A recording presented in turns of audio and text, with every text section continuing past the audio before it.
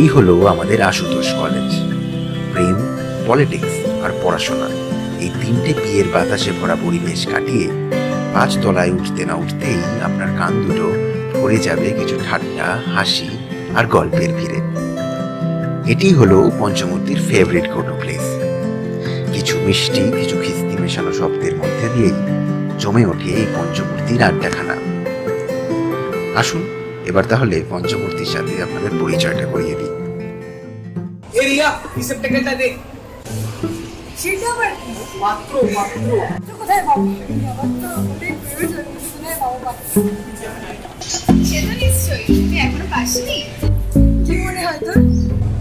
দেখিস দিদি থেকে দিদিমা হওয়ার আগে কিন্তু খুঁজে পেলিস দেখ আমি তো তোর মতো সুন্দরী যে এই- এই মুহূর্তে একটা শান্তশীল ছেলেকে করিয়ে নেব। এই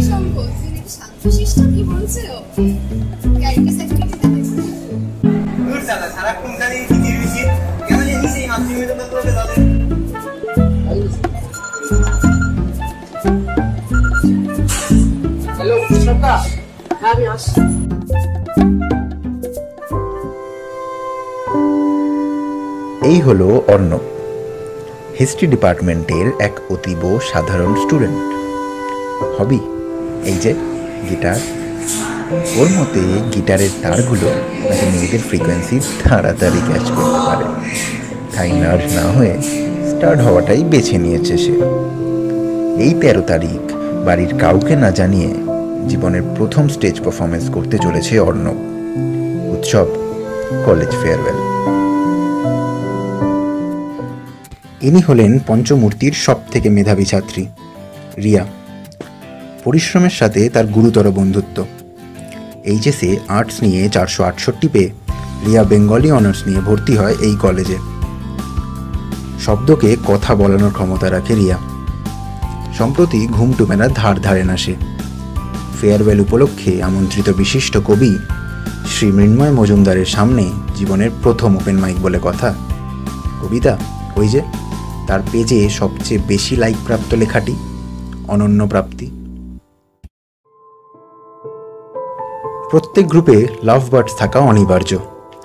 এই গ্রুপে সেই কোটা পূরণ করেছে শঙ্খ এবং Chandrima.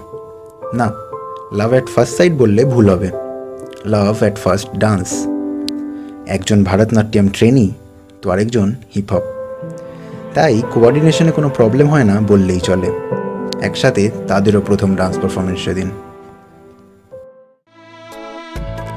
Kashi, BBA department.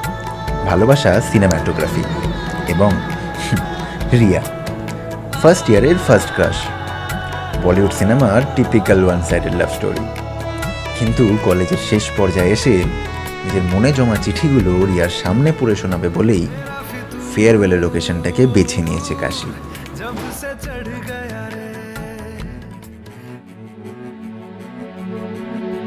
College ফেয়ারওয়েলের আগের বিকেলে কলেজ ক্যান্টিনে পঞ্চমূর্তি একত্রিত হয় পরের দিনের প্ল্যানিং করার জন্যে। আর তাদের প্ল্যানিং করা মানে বিশাল ব্যাপার।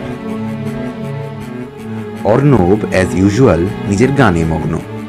পরীক্ষার আগের দিনের মতো রিয়া নিজের রুটিন পালন করে চলেছিল। অর্থাৎ এই নিয়ে সে ছ নম্বর বার লাস্ট বারের মতো রিহার্সাল দিচ্ছিল। আর কাশি এক্সাইটমেন্ট আর প্যালপিটেশন দুটোরই শিকার। প্রথম প্রপোজাল বলে কথা। তাই বাকিদের জ্বালিয়ে নিজেকে নর্মাল দেখাতে চাইছিল। শঙ্খ আর চন্দ্রিমা একে অপরকে পেপটাপ দেওয়া শেষ করে তখন সবে বলে যোগ দিয়েছিল।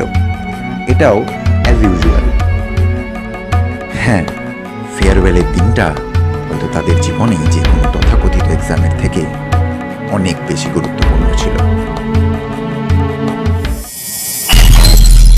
ওই রমিক, কি লিখছিস এত? চল এবার। হ্যাঁ রে, যাচ্ছি, চল। আজ তেরোই মার্চ দু হাজার সতেরো। গত ফেয়ারওয়েল প্রোগ্রামের আজ এক বছর পূর্তি হলো। তাই কলেজে একটা ছোট্ট শোকসভার আয়োজন করা হয়েছে। এক স্টুডেন্ট হিসেবে আমিও উপস্থিত হয়েছি। এক মিনিট, কিসের শোকসভা? তাই তো? তার আগে আমার ইন্ট্রোডাকশনটা সেরে ফেলি।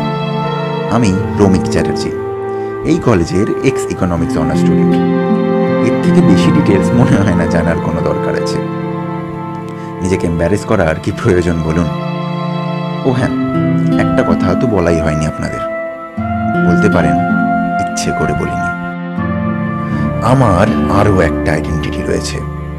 আমি হলাম গিয়ে সেই পঞ্চমূর্তির ষষ্ঠ সংযোজন। হ্যাঁ গ্রুপটা পাঁচজনের ছিল না, ছিল ছজনের।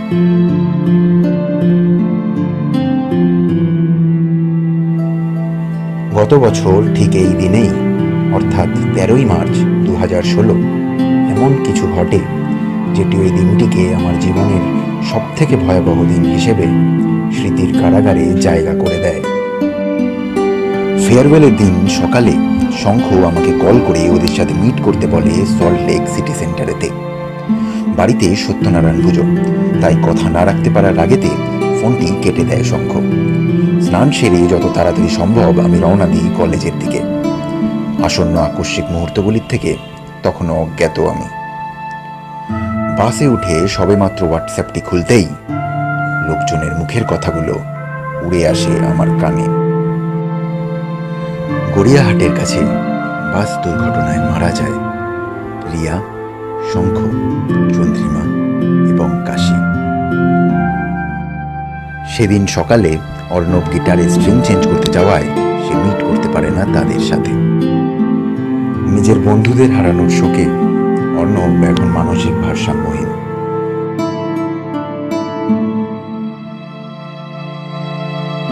এখনও বিশ্বাসের একটা মৃদু হাওয়া বয়ে যায় আমার মনের মধ্যে দিয়ে। যে আবার আমাকে না জানিয়ে হয়তো বসে রয়েছে বেয়াদবগুলো সিসিডির এসিতে। কিংবা চালিয়ে যাচ্ছে কফি হাউসে সেই নন ভেজ ঠাট্টাগুলো।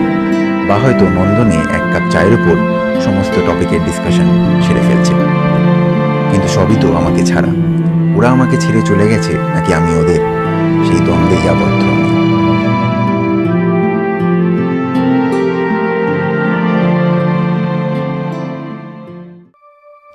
যাই হোক তো এই হলো আমার সেই ডায়েরি, সমস্ত ইমোশনসের বহিঃপ্রকাশের স্থান। আসলে সামনের সপ্তাহে কলেজে একটি শর্ট ফিল্ম ফেস্টিভ্যাল রয়েছে। এক স্টুডেন্টসদের মধ্যে আমরা কয়েকজন মিলে ভাবছি কিছু সাবমিট করব। গল্পের দায়িত্ব আমার। ভাবছি আমাদের এই রিয়েল লাইফ ট্র্যাজেডিটার থেকে ইন্টারেস্টিং স্টোরি লাইন আর কিসের হতে পারে।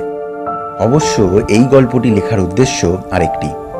সকলের সাথে নিজের মনে জমা কথাগুলো শেয়ার করতে পারলে মনে হয় আমার এবং আমার এই একশো চুয়াল্লিশ পাতা ডায়েরিটির দুজনেরই ভার কমবে। যার যেটা পার্সপেক্টিভ তাই না?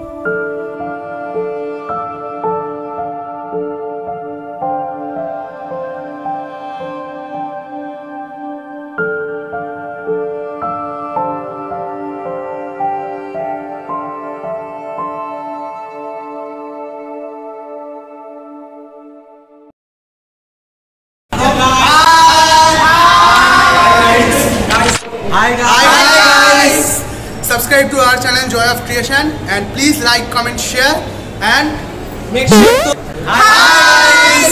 subscribe to our channel Joy of Creation and make sure to tap the bell icon and please like, comment and share. Bye everyone.